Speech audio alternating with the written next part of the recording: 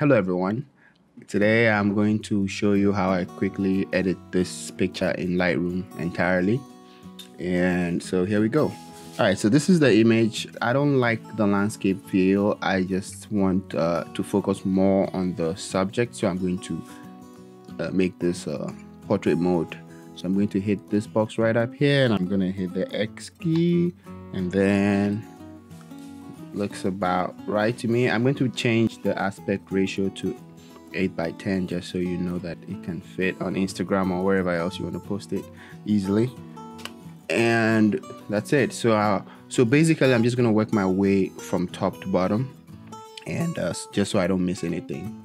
Um, okay, so white balance, I'm going to um, bring this guy up a little bit. Yeah, something like that looks good. Uh, the tint, I'm to bring this up a little bit.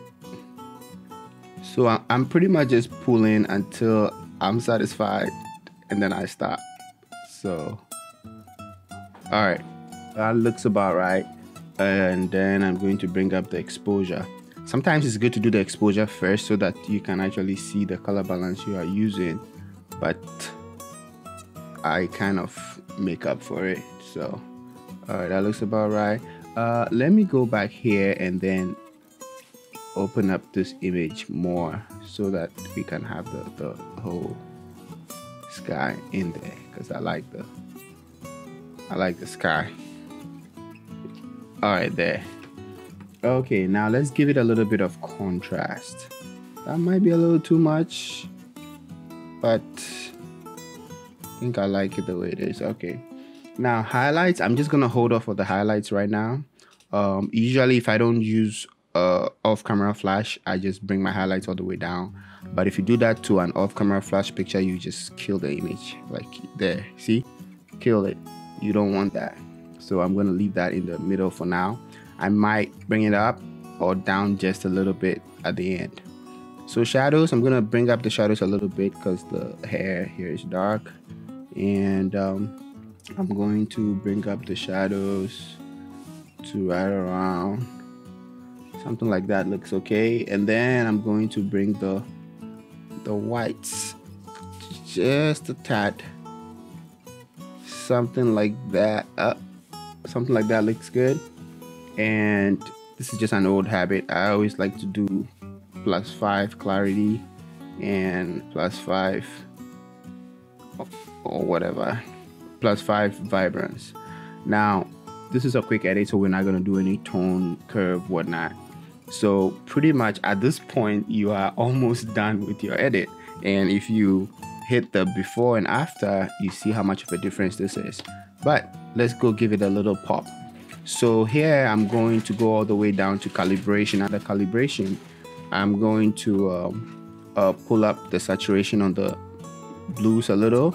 And you can see that almost instantly, uh, the, the colors are just becoming more vibrant and uh, the blues affect all the colors. So if you do this and the blues are too strong for your liking, what you can do is you can bring this up and then you go to the HSL color panel and then actually reduce the saturation on the blues just a little bit. So at this point, the color is decent and um, image is decent. But this is how we finish it off. So let's get a, a brush and uh, I'm going to brush the whole face. I just like to bring the exposure all the way down instead of using the old mask.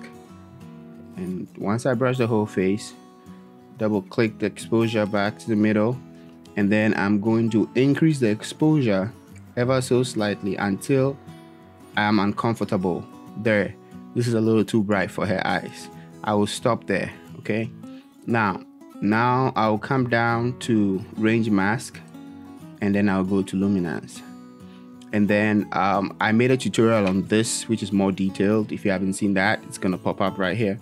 So this is almost like taking your sweet time and doing a dodge on it for like half an hour. So you pull this bar to the right. And one thing I've learned is that when I pull this back a little bit, it helps me. So you pull this to the right, and what it does is that it's it only focuses on the brighter areas and brings the mid the mid bright areas closer to the brighter areas. I don't know if that makes sense, but that's pretty much like dodging, but it's a very mild form of dodging. And then you hit the smoothness button here and then you pull the smoothing all the way up and that makes it more gradual. So the next thing I do is, uh, so for this picture, I don't, I don't need to burn because I feel I'm satisfied with the shadows. Um, but it could be better if I if I did a burn. But this is a fast edit and uh, I don't have time. So, all right. So for the next thing, I'm going to zoom in a little bit more, and then I am going to do a little bit of a spot removal. So when you hit a spot removal, you come down to hit the visualize spots. Now it has a little bar here you can pull back and forth. And this is kind of like the cheating uh, mask you put on Photoshop when you are doing dodge and burn, but it's not very accurate. But it helps you, you know, from here you can see all the blemishes and stuff. So I do it every now and then just to see where I need to go fix. And then I just come here and I have it on heal.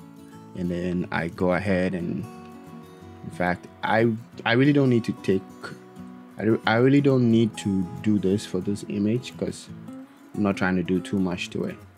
And then finally, before I hit done, uh, I will just brush this and then okay so this is like the worst face paint job I've ever done but we're gonna go with that so all I'm doing is painting the face and dropping down the texture on the face and bringing down the texture quite uh,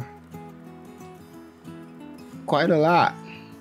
But it's not clarity it's texture. So what it does is that it's kind of like some sort, sort of frequency separation. It keeps the the texture on the face but the the ones that stand out the most are kind of uh, smoothed out.